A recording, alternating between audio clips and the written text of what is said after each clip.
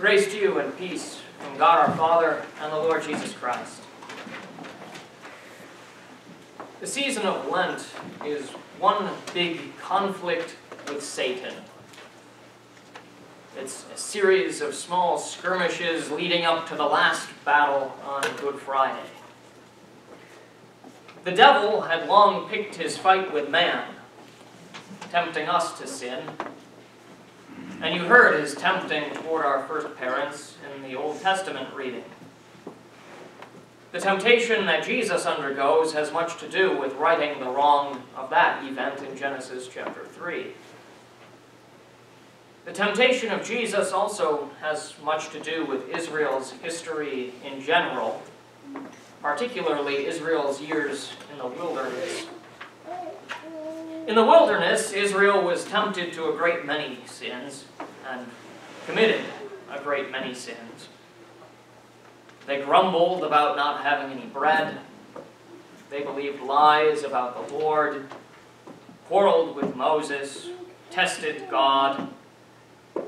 After they had spied out the promised land, all but two of the spies brought back a bad report after those 40 days of spying, such that the people intended to set a different leader over them to replace Moses, who would lead them back to the land of Egypt, to the house of slaves. But the Lord said, According to the number of days in which you spied out the land, forty days, a year for each day, you shall bear your iniquity forty years, and you shall know my displeasure. Thus that entire generation, save the two faithful spies, died in the wilderness, and their children inherited the promised land. But then Israel faced different temptations. Now they had abundance and plenty, and they gave into the temptation to trust all their earthly possessions and turn away from the Lord and go after other gods. This whole history of God's people illustrates just how susceptible we are to temptation. And you're not make, made of any different flesh than they were. There are times when you're tempted and you sin without even realizing it. There are times when you realize very quickly after sin has followed temptation that you were being tempted and have sinned. But as proof of just how weak we are, there are even times you know you're being tempted as you're being tempted. And yet you're dragged along by temptation into sin in spite of your knowledge and awareness. St. Paul laments this very thing in Romans chapter 7. For I do not understand my own actions. For I do not do what I want, but I do the very thing I hate. And again, a little later, he goes on. For I know that nothing good dwells in me, that is in my flesh. For I have the desire to do what is right, but not the ability to carry it out. For I do not do the good I want, but the evil I do not want is what I keep on doing. We are a weak. But our weakness is no excuse for sinning. God's law does not make any concessions for our flesh, but stands there carved in solid rock by the unchanging finger of God. The Lord does not give you a free pass just because you couldn't help yourself. The man blamed the woman, the woman blamed the serpent, and God punished all three of them because regardless of who tempted whom to do what, all three of them sinned. Yet even though God's commandments don't change, that doesn't mean the Lord isn't merciful. God is merciful. Amidst the punishments, he pronounced the complete overthrow of the devil and proclaimed a Redeemer for mankind. The law didn't change, nor did the law's punishment. but an offspring of the woman would come and fulfill the law and bear the punishment and defeat the tempter. And thus, when we come to the temptation of Jesus, we are not coming to a self-help seminar, as if we merely lacked the right techniques for dealing with the devil and his temptations. No, when we come to the temptation of Jesus, we come as spectators to a great contest. We watch our champion fight for us and succeed where we have failed. In short, Jesus was not tempted in order to give you an example. Rather, Jesus was tempted in order to do battle for you, to defeat the devil for you, to overcome temptation for you. Let's now turn our attention to the contest. Then Jesus was led up by the Spirit into the wilderness to be tempted by the devil. The Holy Spirit had just descended on Jesus in his baptism, which comes immediately before his temptation. And the first thing the Holy Spirit does is lead Jesus into temptation. This was according to the singular will of the triune God. And Jesus goes along with it willingly and fights the temptation and suffers the temptation in order that he could teach us to pray and lead us not into temptation. And after fasting 40 days and 40 nights, he was hungry. The length of Jesus' fast corresponds to Israel's years in the wilderness. Jesus goes where Israel had gone and undergoes what they had undergone in order to replace his people's disobedience with his own righteousness. Through his fasting and abstaining from food, Jesus also restores what Adam and Eve had lost by their eating. This was in preparation for Jesus reopening the way to the tree of life by his crucifixion and giving us to eat of its fruits in the sacrament of the altar. And the tempter came and said to him, If you are the Son of God, command these stones to become loaves of bread. The devil tempts Jesus with food, just as he did with Adam and Eve, just as he did with Israel in the wilderness. And this remains a common temptation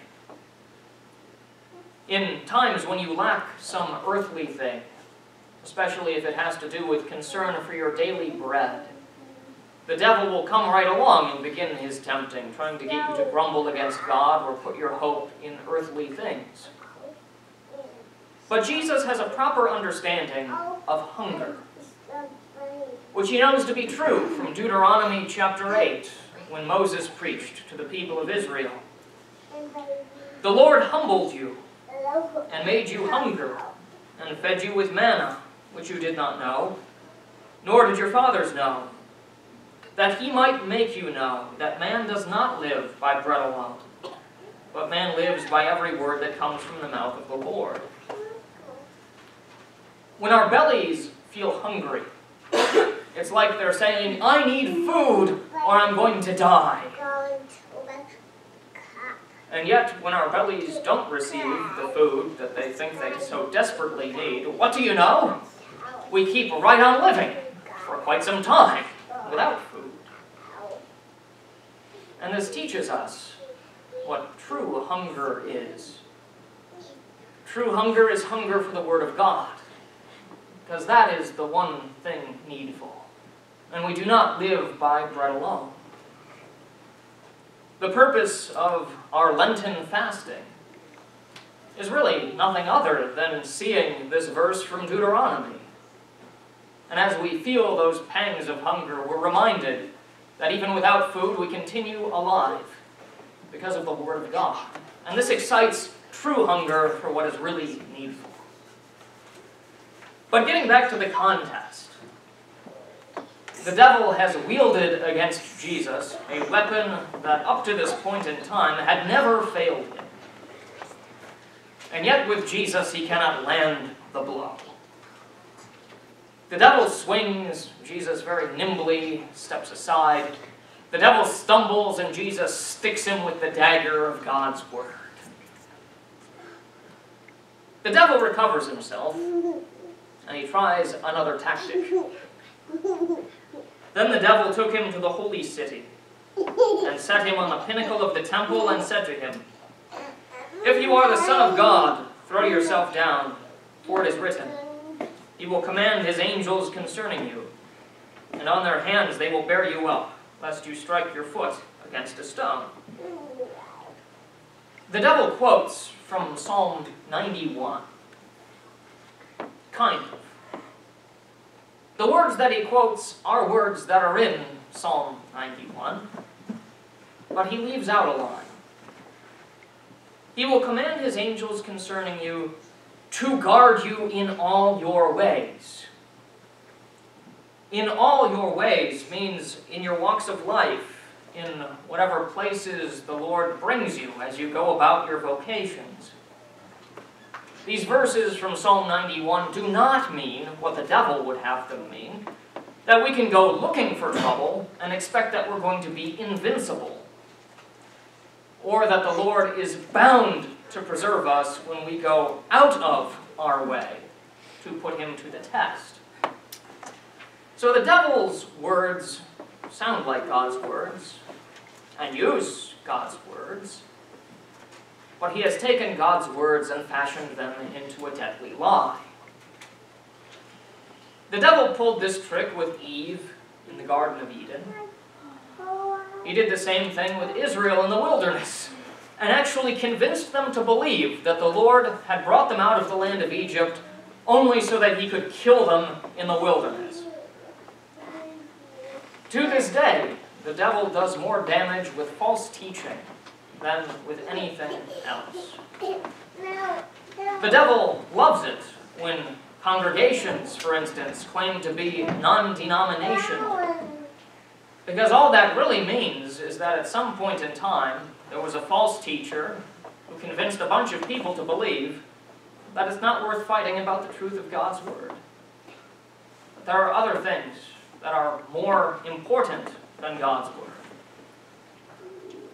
And the devil is constantly tempting you to believe falsehood and to think that falsehood is the Word of God.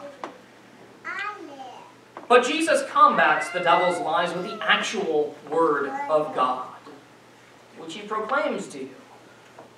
And through this preaching, Jesus continues the counterattack that he has launched on your behalf.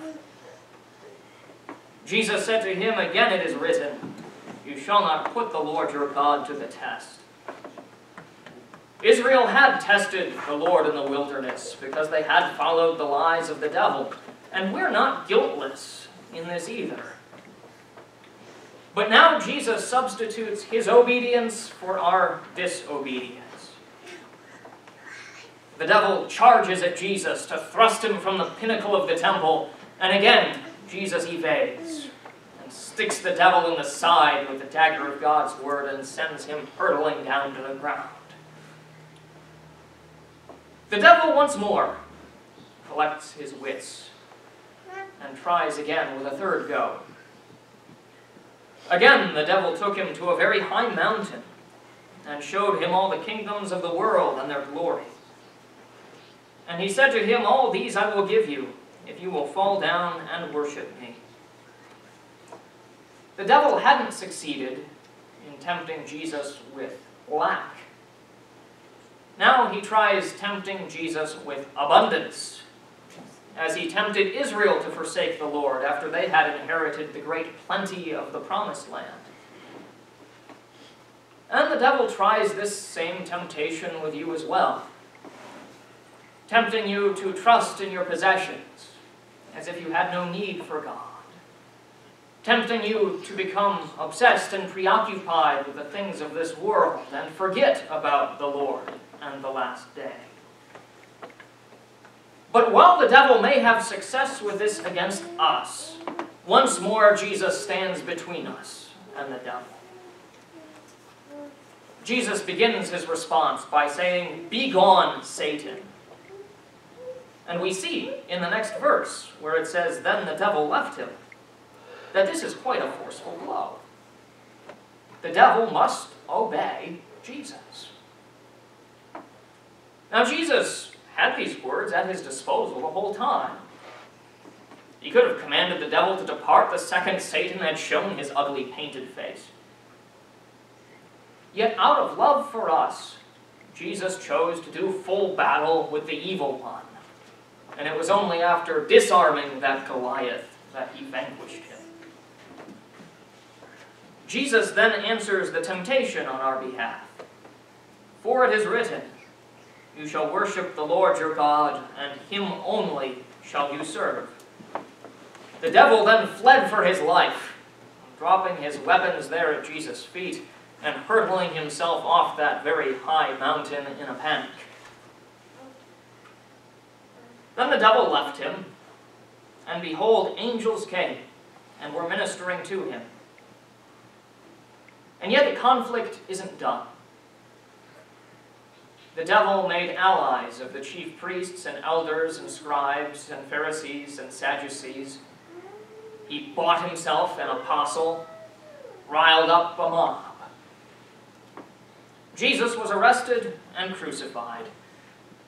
And as Jesus hung on the cross, the devil took up his tempting once more. If you are the Son of God, come down from the cross, as it's recorded in Matthew chapter 27. But Jesus did not give in to the temptation.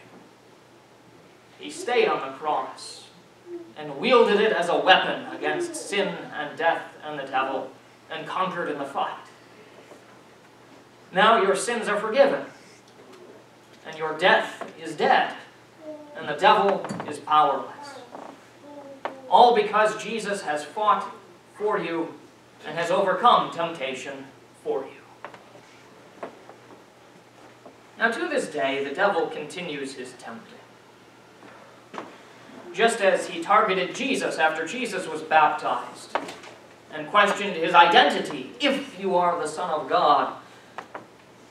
In this same way, the devil focuses his temptations on you who are baptized and calls your baptismal identity into question.